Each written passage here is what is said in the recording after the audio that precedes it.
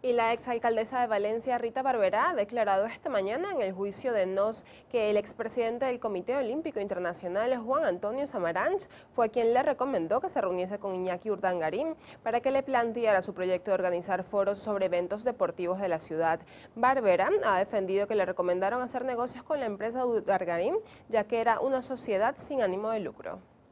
Bueno, a mí, desde luego, la reflexión del señor Samaranch me pareció de todo punto positiva, siempre me parecían positivas, casi siempre, evidentemente sus reflexiones y me mostré interesada por ello. él me habló, él fue eh, quien me habló uh, del señor Urdangarín, me habló del señor Urdangarín como quien podía eh, desarrollar esto, pues le dije que muy bien y que, pues, que se pusiera en contacto conmigo y yo estaría encantada de recibirle y así fue.